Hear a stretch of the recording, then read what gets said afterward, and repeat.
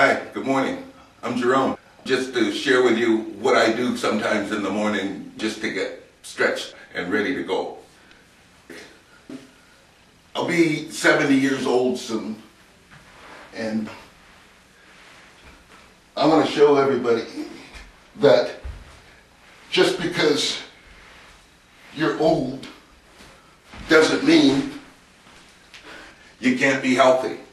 I'm just going to go through some of these real quick for you. You know, but, you know, stretching, you should be able to stretch like this or any way you want within reason.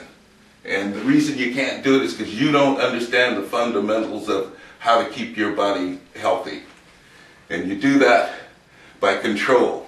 You've got to control your diet if you want to stay healthy. You've got to control how much acids you put into your system to throw it off balance and make you decay. You've got to learn how to take a few vitamin supplements or certain types of foods that will help you. My neighbor down the street, you know, he says, oh, I'm, I'm having to get up and go to the bathroom all the time, and I'm going to go to the doctor. I said, you don't have to go to the doctor. Just eat some corn. Put some corn in your diet. You'll be fine. Getting back to it. Usually, I usually do a bunch of push-ups.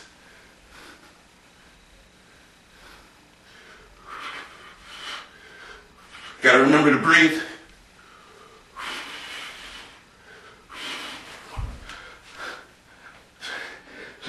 Stretch out their calves, stretch. Some people are able to go to yoga and learn how to do a lot of these things, which is cool. Anything that you can do to make yourself move and realize when and where you have a problem, where you can't move, you have to deal with it right away. You can't just let it sit there and, and get worse. It'll never get better on its own. And only you can make it get better. And like I said, it's all about control. If you can control your tongue, and if you can control, it's mind over matter. So if you can, the mind is supposed to be able to, to control, overcome, manipulate all matter. That's what mind over matter means. And these taste buds, that's matter. So you should be able to control it. Just because your friends are all running to jump off the bridge, drinking those uh, Gatorades and soda pops and all those concentrated acids, doesn't mean that you have to do it. Drink water. Drink water or better.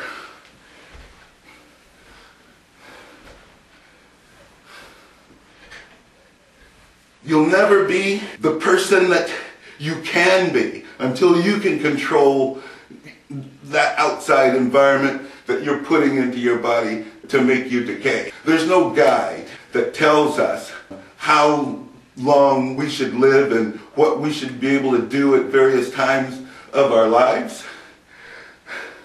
But there's one thing for sure. You'll never be able to see what life has in store for you if you're not healthy. If you're not healthy enough to enjoy it, what's the point? Just to collect money? And then what's that for? No, there's more to it than that. There's much more to it than that. So I usually, I usually do a lot of these too in the morning.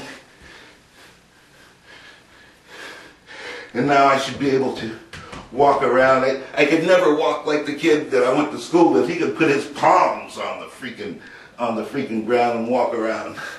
I'm not that far into it. Thank you very much.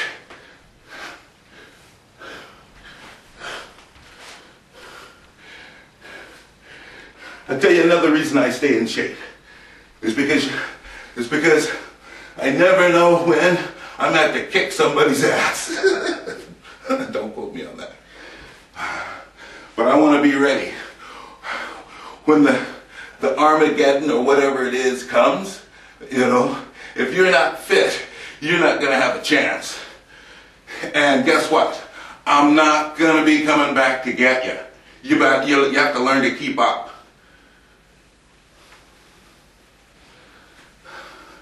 Take care of yourself. Don't fall for it. Don't fall for the old okey doke. All these things that they're trying to sell you out there, that's for them. That's not for you. So overcome your your desire for Coke and Pepsi and Gatorade and 7-Ups and apple juices and orange juices and all of that crap. Drink water. It'll help you immensely. Okay, that's all I have to say about that, and I'm going to get on with it. Thanks for watching.